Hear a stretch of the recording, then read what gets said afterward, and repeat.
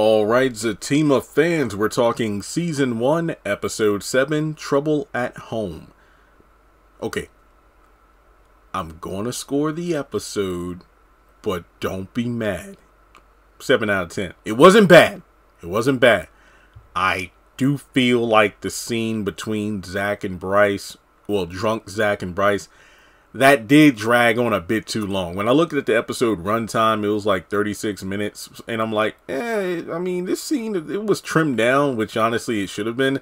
This episode would have been a nice 30 minutes, because episode 8 was, you know, 30 minutes, like pretty much on the nose. But when I looked at this episode, I'm like, yeah, it could have been shorter than it was. But aside from that, let's jump in. Now, Fatima is pissed over the photo and she's about to grab her bag because it turns out she wants to stay at Angela's for the night because she's about to bounce.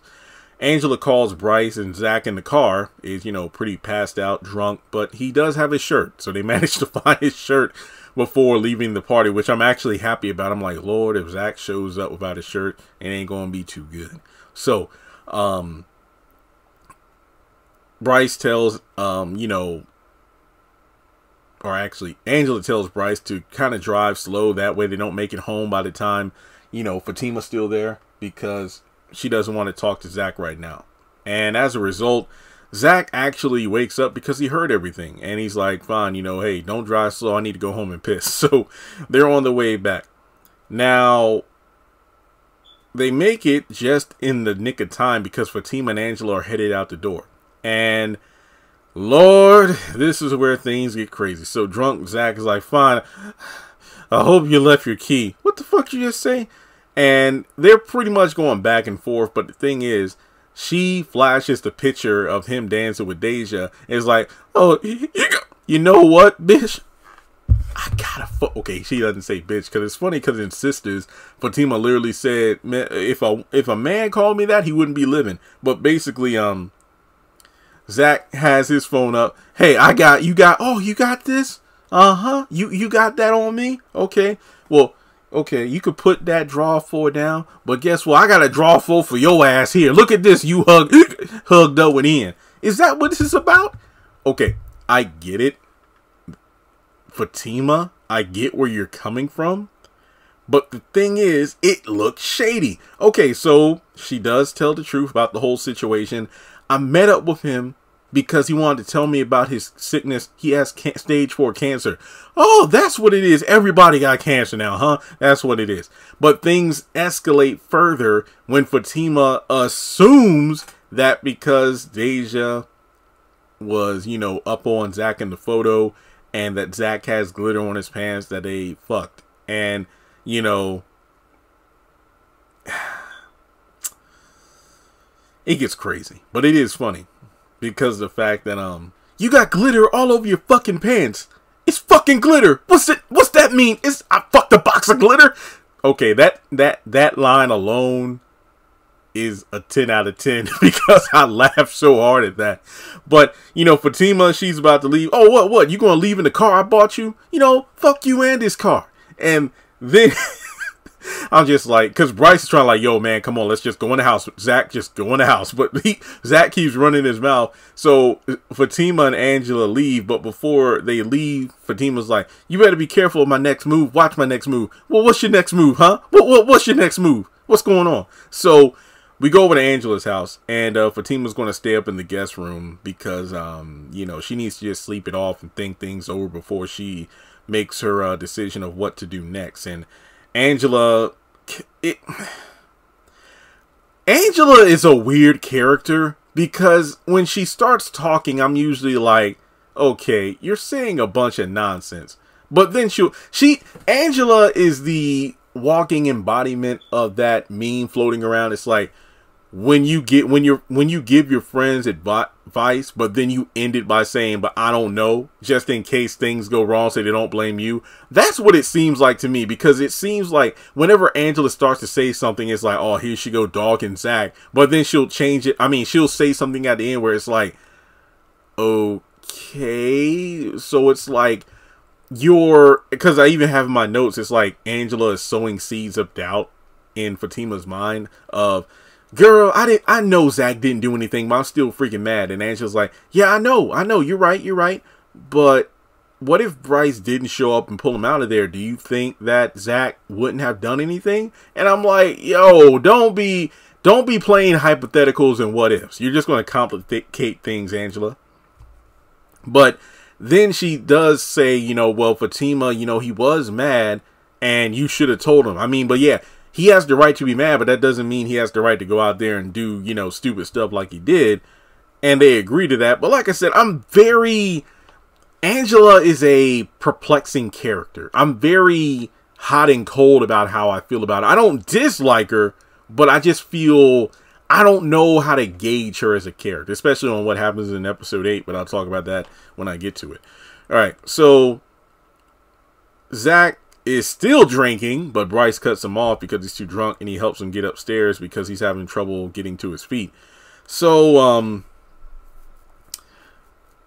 this is where the scene just really starts to drag for me as a whole. The episode kind of felt like it hit, you know, the brakes and just stayed on this longer than it needed to. But this, and look, I'm not even really going to do a full on drunk Zac impression because I feel like my throat would be sore because it's such a long scene you know, no, I'm just going to say it because I don't feel like it.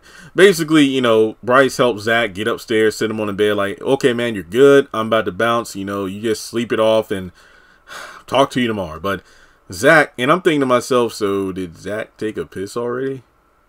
I don't know. Cause I'm thinking to myself, Bryce, like, you know, hey man, just go to sleep. And I'm thinking, man, he, he's pissed drunk, man. He probably going to, I don't know. But um Zac is talking about, yo man, you always got my back. You good people, man. You good people. And look, you know what, man?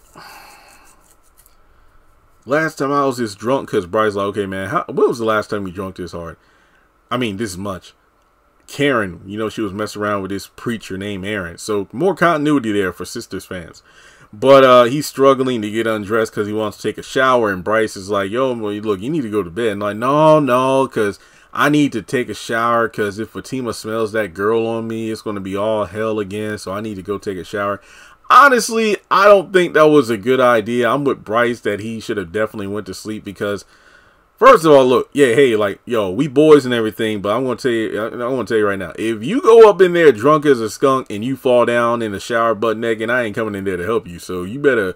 I, have helped you as far as I can, getting you into bed, but you know, getting you on the bed so you can lay down and sober up. But that's it because I don't want to drive home feeling guilty like this nigga in the shower he done drowned and because I wasn't there to help him. But um, no, it kind of really drags on due to the fact that Zac keeps talking about you know what man we should why women got to be like that. Well, that's we're just different. We think different.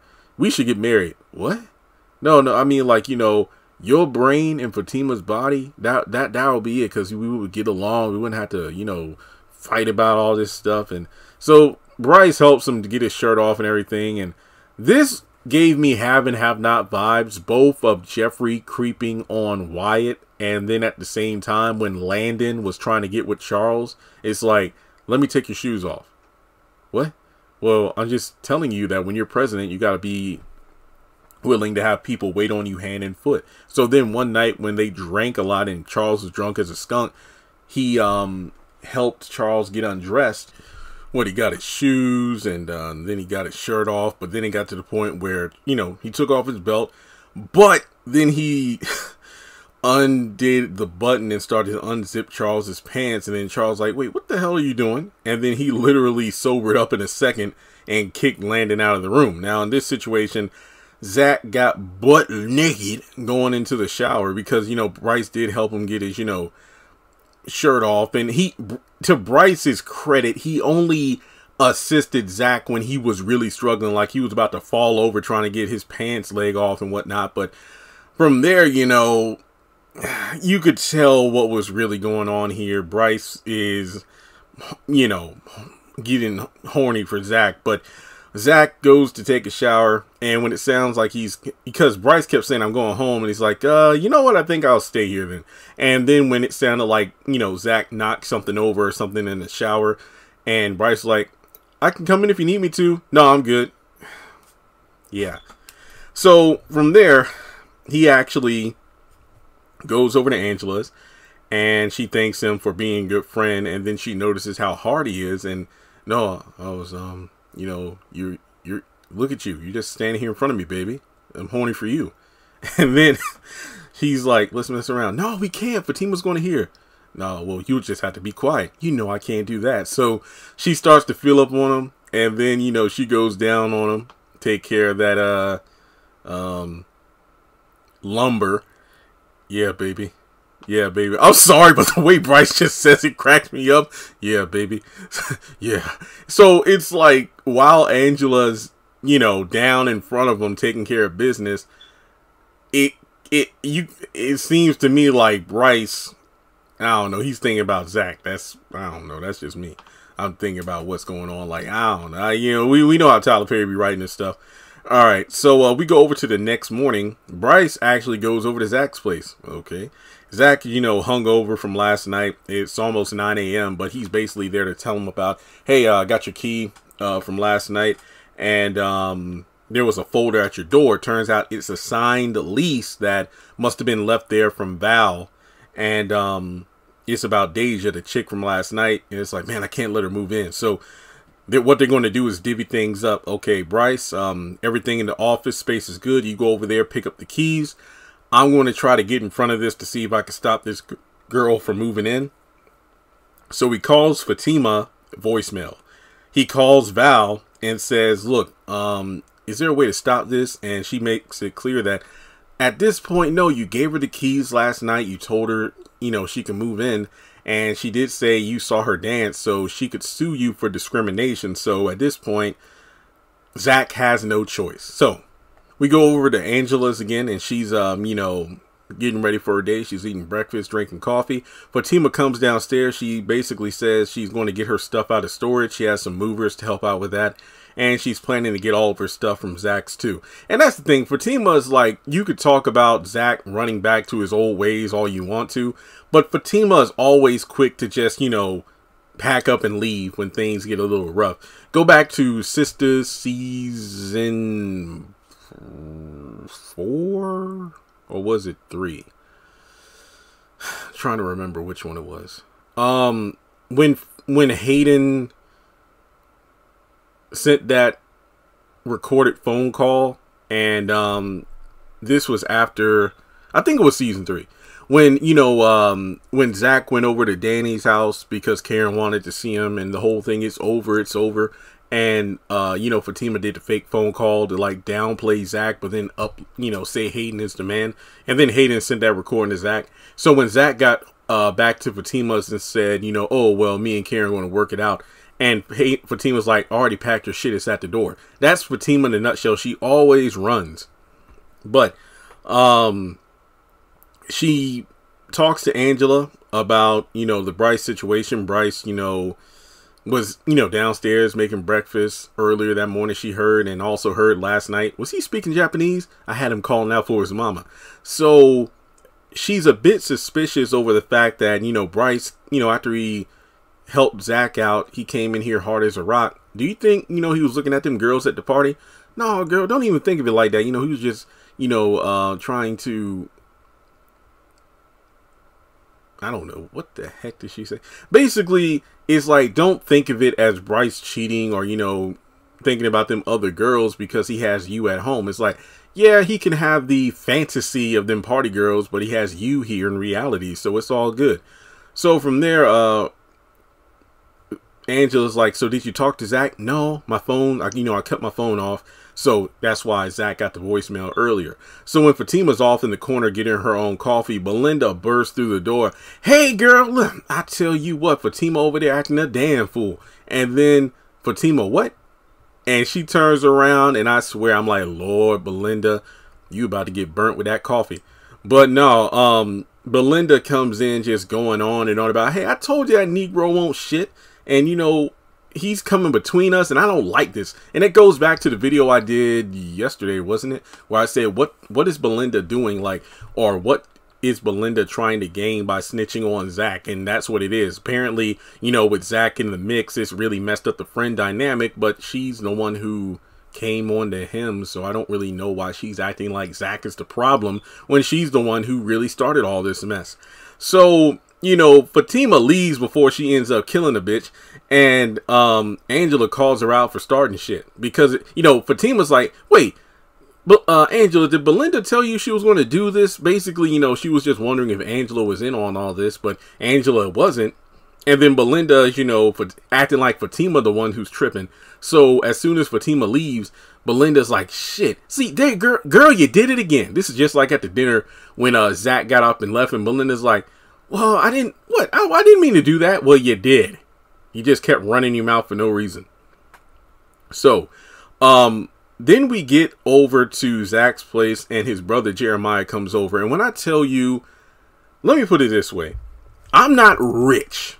I'm not. Because remember, I'm still living at my parents' house for the time being until I find my own home. But something tells me when I finally get a house, it's probably going to be like this. But no, I'm going to have locks and security cameras. So no, these people can't be coming up in here. And when I say these people, I mean like long law, you know, family down the line that ain't do shit. So we get a little history here. Uh, the fact that, you know, Jeremiah and Zac were slinging back in the day. Jeremiah got 10 years in jail while Zac only got three. So he assumes that with the house and everything, the car, Zac must be doing something illegal, but no, he's legit now and he wants 10k. He basically goes on. The, the actor here did a great job. He literally embodied, he personified, and I don't want to make this just the stereotypical black thing, but I'm black, so I can just only speak from my experience. This is how niggas be acting. Like when you get money, like they say, oh, you know, that's what happened when when niggas get a little money, they acting funny. Is it really the people who get the money who start act funny, or is it the people around them that start acting funny? Like Zac said, three years, three years since I moved here. Nobody called me. Nobody came to visit. I was broke. Soon as I get some money, all of a sudden we family. Brother, mom wants to talk to me. Y'all don't want shit but money. That's all it is. His brother wants 10K. But the brother, his voice and everything, it really fit the bill. You know, like, look, when niggas get a little bit of money, let me hold something. I'm trying to be like you. Come on now, don't act funny now. It's a nice house. Yeah, okay. I saw that girl of yours last night. She looked fine too. And you know, this is literal this is literal toxic family relations. Because again, like I said, I, I when I start I remember when I quit my job, what my parents say, when you finding a new one, when you finding a new one. Struggled for like half a year, started doing my eBay on the side, started making real money. I'm not saying numbers, but I make more than my entire uh, household combined, both parents and my sister, and their and their and when we compare annuals, I'm making more than all of them combined. And the fact that I just think about the times where they were like, "You you shouldn't have quit your job. This is dumb," but here I am working out of my room, making money. That's how family is. Family is a bitch. It really is. It really is. That's not to say there aren't good family members out there, but when you look down the line of like the aunts and uncles who really never and I don't want to make this video seem like a therapy session for me where I'm venting, but it's the truth. The family members who linked on to the other nieces and nephews, they helped them out when they were in college and whatnot. I didn't get any of that. Now they out there, some of them got, you know, criminal records, some of them multiple kids, multiple baby daddy, baby mama, whatever the situation. But now they want to look at, oh, what's Jeremy doing? Oh man, you doing good? No, no, no, don't talk, don't even. Look. Some of these folks I ain't even seen in five years. It's not even like a petty thing. It's like, hey, you didn't look me up back in the day when I was struggling. Don't try to, you know, call me, add me on Facebook now that I'm making something of myself. So this episode, while I did have like the whole Bryce and Zac thing in the bedroom, I really didn't think that was a good scene because it dragged on too long this particular scene hit home because of how real it is to me. It's like these people who did nothing to help you on the come up all of a sudden feel like because I think Steve Harvey said this once like that's why you got to be careful when you come up in life because those people you were around back in the day just because you doing good and they see you doing good they think they should be going doing good too when they've done nothing to contribute to your success or they feel like that oh yeah, because you come up, I need to come up too. Nah, it don't work like that. So in any case, he takes a tour of the house. All right, so Fatima on her way back to uh, Zac, I'm just going to say Zac's place because at this point she's planning to move. So Margaret calls, and Ian apparently gave his mom Fatima's number, even though apparently um, Fatima asked him not to. So Ian, man, this motherfucker. Okay, so he's really sick. Ian is actually sick with cancer. He just doesn't look it, but he's really bad. She's happy that, you know, Fatima agreed to be there for us. I mean, and I'm just sitting there like, when did Fatima agree to this shit? I feel like Ian took what Fatima said and just ran with it. Kind of like with um Zac's brother. You give somebody an inch, they're going to go 10 miles. I'm not even going to say a mile, 10 miles. Because Miss Margaret sounds sweet, but I would have shut that down in a heartbeat like, uh, look, no disrespect, but that's not what I agreed to. And even still, Fatima, oh yeah, yeah, he said that you found somebody else. Yeah, I have. Well, that's too bad. I guess it's too late now. Can you come by for dinner sometime? Look, I'll have to call you and see if I can make it. And I'm just sitting here the whole time like, this is just more that, man, look, I get why Fatima's mad, but you you just digging a hole deeper for yourself. You can, like, take your shots at Zac, but you, you ain't a saint yourself now. I mean, I get it. You're in a tough situation, but you should have said no. All right. So Fatima gets back at um, you know, the house just in time to see Deja moving in. She greets Fatima, and that's how the episode ends. So yeah, while this episode was a bit rocky in places, mainly the bedroom scene with uh, Bryce and Zac, the whole Jeremiah thing that just hit way too close to home. But that just goes to show how well the writing and the acting is because this is literally how shit like this happens. So, with that being said, thanks so much for tuning in, and don't let this being the lowest rated episode of the show deter you from watching it because it was still really good. Not every episode is going to be a 10 out of 10. So, let's move on to episode 8 in the next video. So, like and subscribe, follow me on social media, links are in the description below. Hit the bell icon and select all, that way you don't miss out when I post content, and I'll catch you in the next video.